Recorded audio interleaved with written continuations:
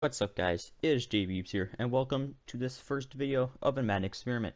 Basically, I'm going to be doing a fantasy draft, and I'm going to take 53 wide receivers, and then go into their, their player cards and edit their positions in order to field a full 53-man roster.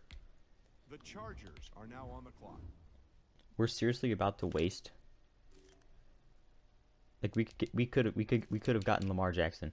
We're seriously going to waste Actually, no, this is not a waste. We'll take Tyreek Hill.